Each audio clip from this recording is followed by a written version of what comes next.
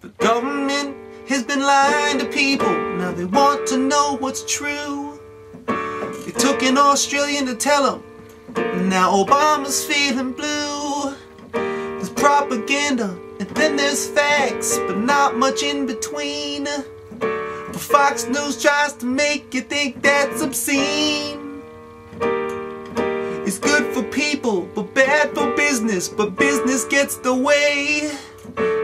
Now they're gonna do what they can to get Assange out the way. The con is on, it's been nothing new. They've been doing this shit for years. From JFK to Watergate to Bay of Pigs to Panama to microchips in your beers.